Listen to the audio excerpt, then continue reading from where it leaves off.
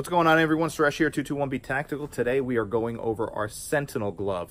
This is our full leather level 5 cut resistant gloves. That's the EN388 level 5 cut resistant. You can look that standard up. It's a standard testing for cut resistance level 5 here on our Sentinel glove.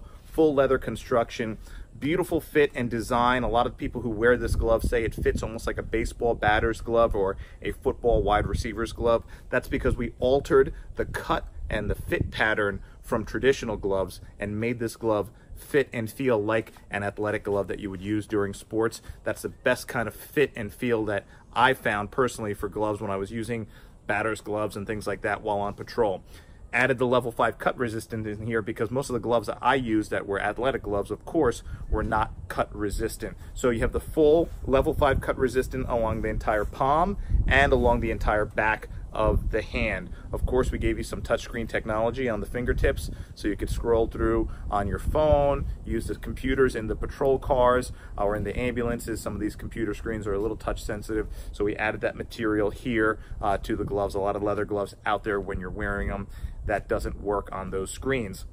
We got a nice heavy duty Velcro wrist closure here.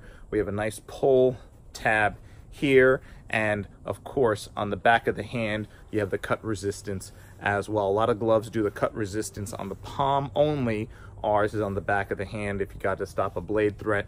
Great glove because it offers high dexterity. You could feel small objects during a search. You can manipulate your weapon, firearms, whatever it may be. Gives you that nice high dexterity fit and feel while giving you the protection you need. I love leather gloves on patrol. A lot of people love leather gloves, but I like a glove that also gives me protection as well, and that's why I designed the Sentinel glove. Check it out, 221B Tactical. This glove is going to fit beautifully, and you are going to absolutely love it.